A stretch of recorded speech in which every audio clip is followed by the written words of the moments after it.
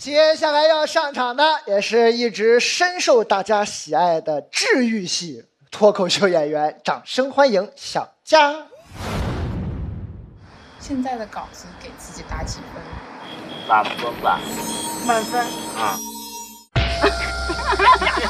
想不想打他？我就问你想不想打他？我夸下海口了，是不是？真人秀，看看小佳平时就这么狂啊！不要被台上小佳那那份温暖给给把他迷惑了，你知道吧？小佳在台下都是拿鼻孔跟我们说话，我都满分了，你可以吗？你可以吗？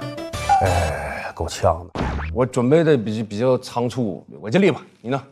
我感觉自己准备的差不多，而且准备的还蛮久。应该还行，有信心。对，我蛮期待小佳的，因为上次小佳她说她拿出的是第二好的稿件在突围赛，我想看看她最好的稿件会不会在这一轮出来。四个人的表演你都看过了吗？都看过，因为他们都不差，我还是有些紧张，但更多是兴奋吧。加油，一定可以冲断的。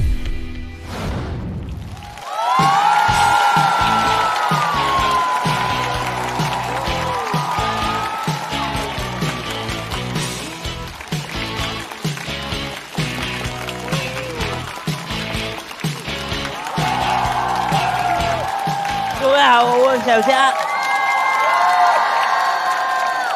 哎呀，前阵子我一个电影学院的朋友让我去拍一部励志片，我是男主角。哇，他讲的是一个体弱多病男孩的成长故事。这个故事的结局呢，是男孩开了个公司，娶了个心爱的姑娘，太励志了。他从来没想过先给自己看病。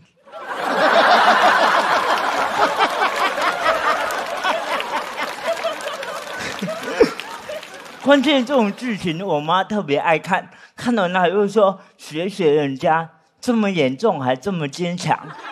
我说我是不够坚强还是不够严重？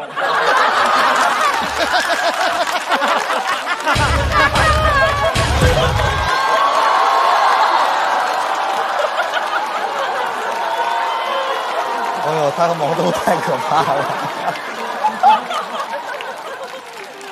因为是个连带戏，所以会有个角色来演我的小时候。这个角色呢是面向全社会征集的。有一天，我跟我朋友在一个小房间看二十多个小孩模仿我的视频，好笑又尴尬。有个小孩甚至是这样啊，啊好，哎呀哎。我说我在这个小孩的认知里会不会太严重？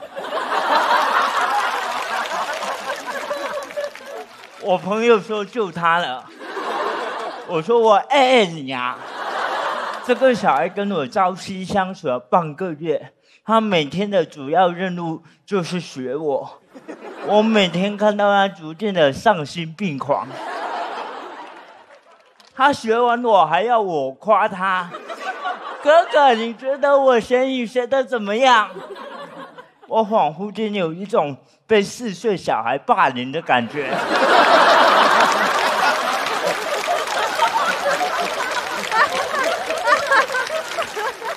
后来呢，因为经费有限不拍了，然后我本来还挺难过的，但仔细想一想，最难过的是那个小孩，他模仿我半个月了。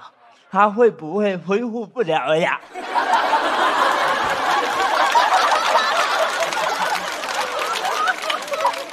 我真的，我到现在都特别害怕被当成是弱势群体。我上次在机场正常排队过安检，有个工作人员过来，他说：“你跟我走。”我吓死了，然后把我带到了老幼孕产通道。他说去那排，我很生气。因为刚刚明明在那已经快排到了，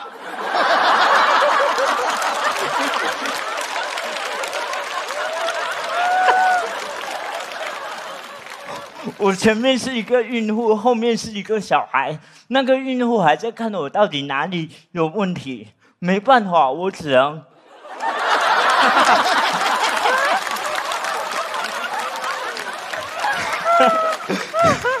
他说他说要不你排我前面吧。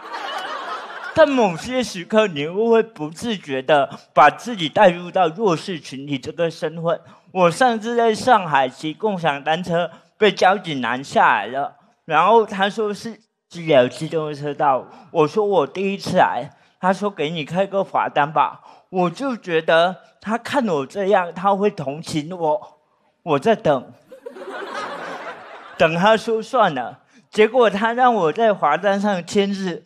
我就觉得是我表现的不够明显，我签字的手就开始变得颤颤抖抖。他其实给过我台阶的，他说：“你来上海是来旅游的，还是来出差的？”这时候如果你狗一点，你就说来看病的。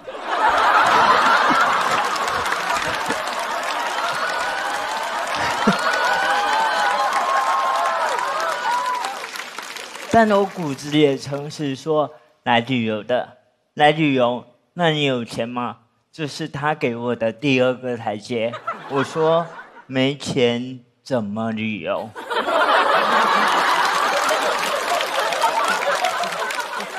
我觉得所有群体都不止一种可能性。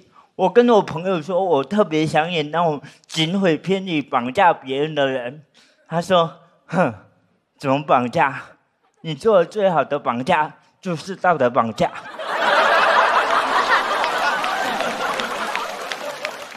你跟那个人质说你别动，你再动我就绑不上了。但是我自己觉得我自身很强大，我觉得我这辈子永远不会道德绑架别人，但我也不会被生活所绑架。谢谢各位。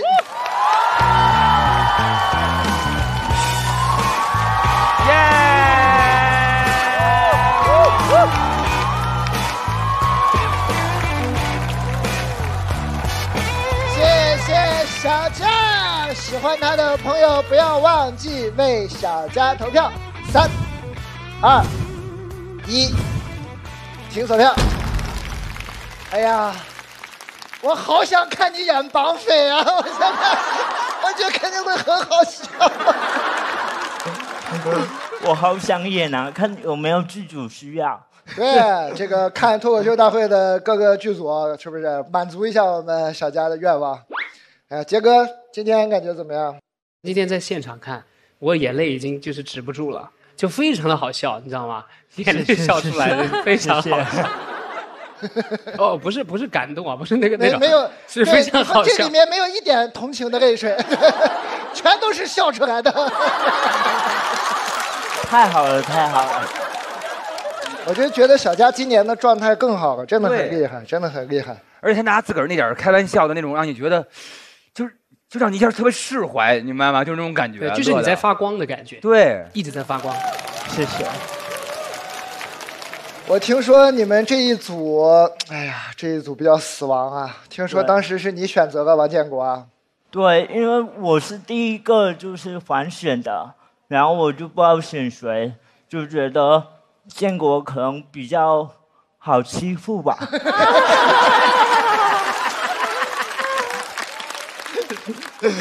然后后来他们俩也加入了这一组。对，我觉得我们四个好像建国是那个特殊的人。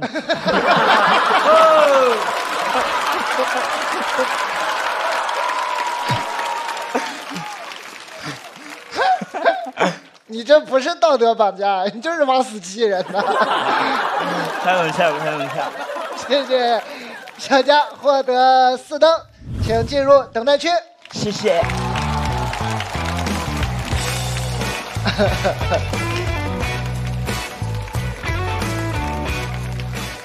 毛豆在我前面，然后它的能量特别高。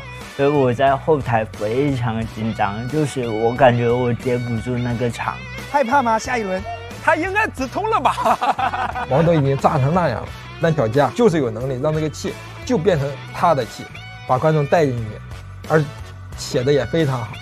小佳现在在台上那种感觉已经是真的可以封神，我觉得他打破了一种我们就是那种恐惧，觉得他特别可爱，好家伙，我们也能拿他开玩笑了。脱口秀的很多意义就是在于他能够打破你的思维，表达恐惧，我觉得很棒啊。